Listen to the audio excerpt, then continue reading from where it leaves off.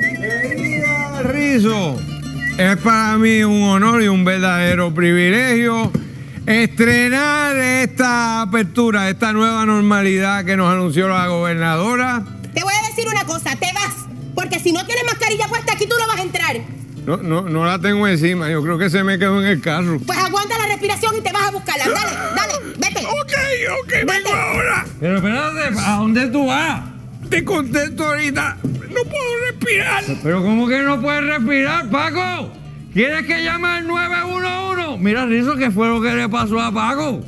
Bueno, que el idiota ese anda sin mascarilla y le dije que aquí no va a entrar sin mascarilla. Ah. Ni él ni nadie va a entrar a este negocio sin mascarilla, al menos en mi turno. Porque el gobierno dijo que es responsabilidad de cada uno protegerse. Y yo estoy haciendo lo propio. Y al que no le guste, que se muerde un ojo. Oye, fíjate, a- hablando de eso, de morderse un ojo, eso no está fácil. Mi- mira que yo he tratado, pero como que la boca y eh, la, eh, la lengua no estiran suficiente para llegar al ojo. Digo, para llegar al ojo ni a ninguna otra parte.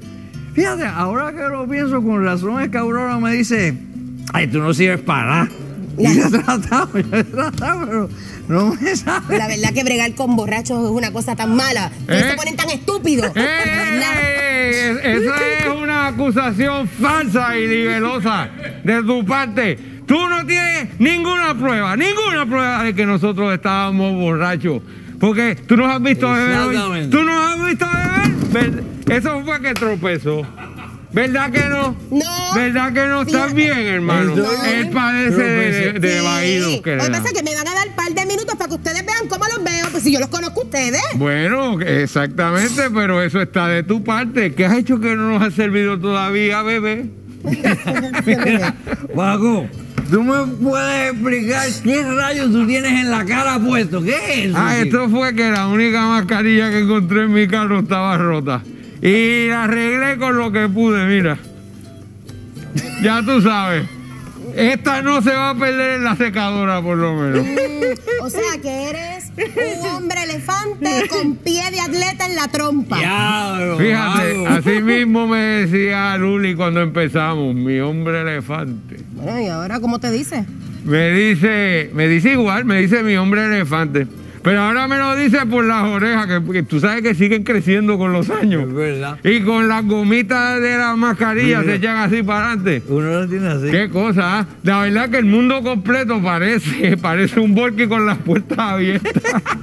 Ay, qué, qué cruel, qué cruel es, es la vejez. Ay, sí, Te sí. crece todo lo que no tiene, no se refuerza con hueso. ¿Verdad? Sí, las orejas te siguen creciendo, Ay. la nariz, la papa que parece un moco de pavo. Sí. Y eh, el guindalejo aquí que parece una hamaca. Y te crecen pelos en sitios insospechados. Sí.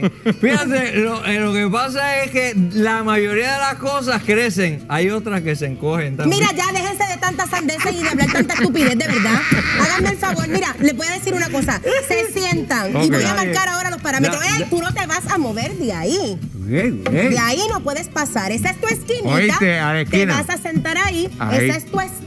¿Qué haces mandando? No, no, no, no, que tú digas, mi amor. Esa es tu esquina y no soy tu amor. Ok. Te sientas ahí. Mi ¿Está odio. bien? Cada uno en su esquina, ¿entendieron? Ok, entendimos, pero ¿qué vamos a hacer? Vamos a beber, esto es una pelea de boxeo que cada uno está en su No, esquina. chicos, esto es como cuando estábamos en la escuela que las maestras nos separaban para que no embeteáramos.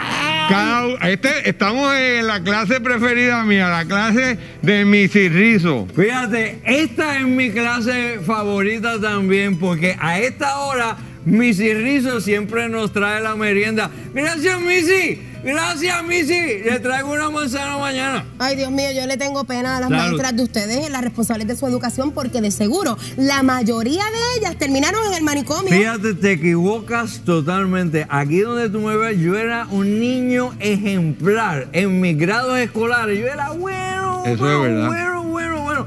Hasta que conocí al zarapastroso este que me introdujo en el oscuro y sórdido mundo del alcohol. ¿Y en qué grado fue eso? En kindergarten. Ay, Dios mío. Sí, no, pero yo, yo tengo que reconocer que yo siempre tuve claro cuál era mi vocación. Yo estaba seguro de cuál iba a ser mi futuro, qué yo iba a hacer en el futuro. Un borrachón. Sí, pero eso sí, bien independiente. Yo me levantaba tempranito, desde chiquitito, me levantaba tempranito, hacía yo solo mi loncherita, cogía mis manices, cogía mis aceitunitas, mi, mi latita de calamares en su tinta, le echaba vinito de cocinar al termo y todo el mundo para la escuela a comer cazuela. Eso es mentira, ¿verdad? Es totalmente cierto, ¿Verdad? pero te, te voy a decir una cosa. ¿Te acuerdas? Las maestras nos adoraban. Porque ellas nos miraban y nosotros teníamos siempre esta media sonrisa en la clase. Estábamos así, mira.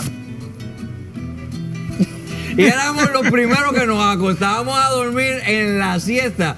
Y todo el día estábamos chilling, chilling, chilling, Eh, chilling. Eso sí, eso sí, cuando nos venían a buscar nuestros papás éramos los que teníamos morra, porque estábamos acabados de levantar de la siesta, pero no era por eso, era hangover. De verdad que Titi Wanda es bien brava, ¿sabes? ¿Por qué? Porque confiar la salud del país en un par de idiotas como ustedes, y sabrá Dios cuántos Hey. más hay como ustedes, es una apuesta bien peligrosa. Pues mira, van a hacer una cosa. Primero preocúpate tú de cumplir con las cosas que tienes que estar cumpliendo tú. Ahí en vez de estar criticando a los demás. ¡A Tomity! Pues fíjate que yo estoy cumpliendo y bien que sí. Aquí puede venir Hacienda, OSHA, el Departamento de Salud. Puede venir hasta el Tribunal Celestial hacerme cualquier prueba y voy a pasarlas todas con buena nota. ¿Ustedes saben por qué? Porque yo estoy haciendo las cosas como Dios y Titiguanda manda. Ah. Pues fíjate, eso yo no lo sabía, que aquí venía una ocha, porque yo le tengo miedo a los ocho. Ay. Si es un grizzly grande, me da miedo mucho el ocho. Si es un ocho panda, no le tengo tanto miedo. Y te voy a decir una cosa, aquí tampoco tú estás cumpliendo con la norma, porque ah, dice que tú tienes que cumplir con un 50% de tus clientes para el distanciamiento social. ¿Dónde está Eso es 50%? verdad, eso es ¿De- verdad. ¿De dónde Eh, está? eh, mira, en seis años que nosotros venimos aquí, yo no he visto a más clientes. Yo no sé ni cómo esto se mantiene. Nosotros dos. El único que ha entrado por esa puerta ha sido Luisito Vigorra. Exacto, pero ese Una tiene, vez. ese, ese puede entrar, tiene pase vitalicio a todas Claro, las barras del es país. verdad. Pero si tú fueras a hacer eso y cumplir lo del 50%, nosotros somos dos, la mitad es uno, tendría que votar a uno de los dos. ¿A quién va a votar? Ah. Ah. Ah, pues fíjate, ninguno de los dos. Figúrense ustedes, porque entre los dos ustedes no hacen uno. ¡Ay, tiraera! Te dijo medio hombre. ¿Qué va a hacer? espérate. Tírale, tírale, tírale. La verdad, querida Rizo, que tú eres tan dulce y tan dulce que en tu casa no debe haber hormigas. Y las mataste sin insecticida porque con toda esa dulzura que sale de tu boca, tienen que haber muerto de un shock diabético. ¡Bum! ¡Ahí! Regalo, regalo del Día de los Perros, para que goces. Ahí te dijeron melosa, mata hormiga. Tírale, Dale. tírale, tírale. Ah, Pues fíjate, hablando de perro, yo no sé, pero a mí me dijeron que tu mamá una vez, en lugar de llevarte a ti a la escuela, llevó al perro de la casa y cuando fue por la tarde a buscarlo, la maestra le dijo, fíjate, ha mejorado en su vocabulario y está hablando bien clarito. ¡Ay! ¿Qué vas a hacer? ¿Te vas a quedar callado? Porque te acaban de decir que eres más bruto que un perro. Tírale. Bueno, pero déjame. Tírale. Aquí voy, déjame decirte que gracias a esos supuestos brutos como yo que votaron por esta administración es que estamos vivos todavía.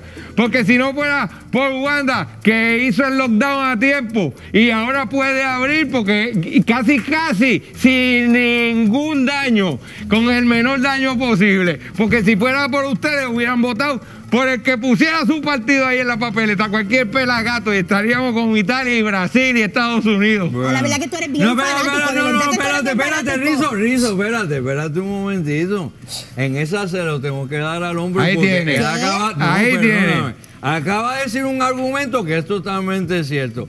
Gracias a Titi Wanda que hizo el lockdown a tiempo, Puerto Rico está mejor que la mayoría de los países del mundo. Y no solamente eso, hemos tenido la fortuna de crear cientos de hospitales alrededor de todo Puerto Rico. ¿Sí? ¿En qué país fue eso? ¿Aquí en Puerto Rico? ¿Cuándo? Pues desde el principio del cuatrenio, con- cuando Titi Kelleher cerró 400 escuelas, ¿verdad?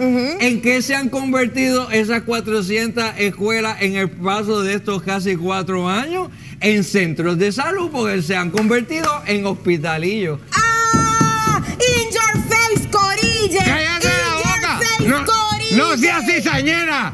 Wanda no tiene ninguna culpa de eso. Ah, no. No. Pues del mismo gabinete, ¿por qué no revirtió la orden cuando llegó a la gobernación? ¡Toma! Mira, yo no tengo que oír tanta estupidez, me voy. Yo no tengo que oírte hablar tanta sangana.